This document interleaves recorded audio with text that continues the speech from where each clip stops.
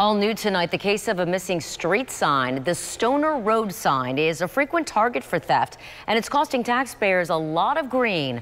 ABC Action News reporter Ryan Smith has that story from Riverview tonight. Way back when, in Riverview, our backyard was cows. Now it's fewer cows and more cars. And when we moved here, the population was 7,500 people. Today, according to the Chamber of Commerce, the population of Riverview is 75,000. Craig Post says while much has changed over the years, one pastime remains the same. They laugh.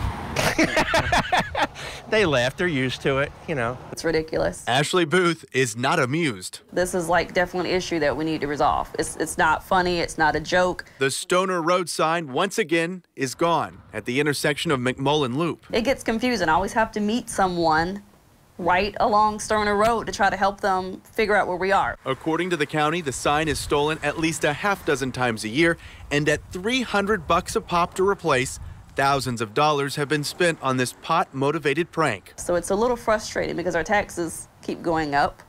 Um, they've gone up again, and it's starting to wonder where is the tax money going. And it certainly shouldn't be going to that sign, so they need to rectify that. There are high expectations now to make a fix. One solution here on Stoner Road reached new heights.